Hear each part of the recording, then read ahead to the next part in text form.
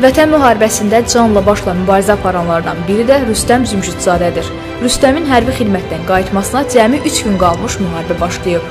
Biz döyüş başlayanda biz evlə danışdıq, mən qardaşımla danışdım. Bəs dedim ki, yəni vəziyyət budur da, yəni iş də ola bilsin ki, geri dönməsən, hər şey narahat olmayım da. Yəni bu hər adam şəhidlik zirvəsinə çatmır. Mən dedim ki, bəs haqqınızı helal edin, birdən işlə dönmərəm də. Yəni Şuşanın aldığı gün, yəni biz saat gecə saat 12 idi. Kəşfiyyat gəlmişdi.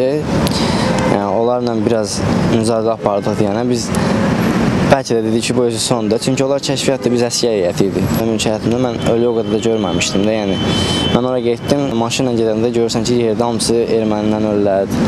Ona sevinirdim ki, ən azından biz bir şey eləmişik. Düz olayın yollarını bağlamışdıq biz, yəni biz də artilleriya idi, yəni hər hədəfi tutmuşduq, biz hazır idik. Onlar hər gələndə biz onları vururduq. Əsgərlər arasında vəziyyət çox gözəl idi. Yəni hamısı mehriban idi. Bəlkə elə vaxt olur ki, məsələn heç danışmadığın əsgərlə də heç deyib gülürdün. Çünki elə bir vəziyyət idi ki, hamısı bilirdi ki, qorxurdu ki, bəlkə də nəsə olar. Çünki hamısı bir-birinə qardaş oldu orada yəni. Qarabağ bizimdir, Qarabağ Azərbaycandır.